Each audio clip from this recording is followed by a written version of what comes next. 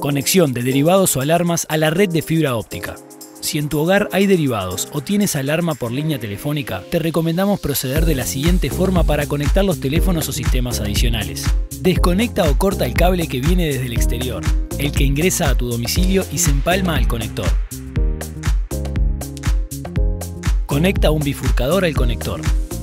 Con un nuevo cable, conecta el bifurcador con tu modem óptico en el puerto POTS 1 o Phone 1 según el modelo de tu modem. En caso de inconvenientes, comunícate al 121 o asterisco 121 desde tu celular.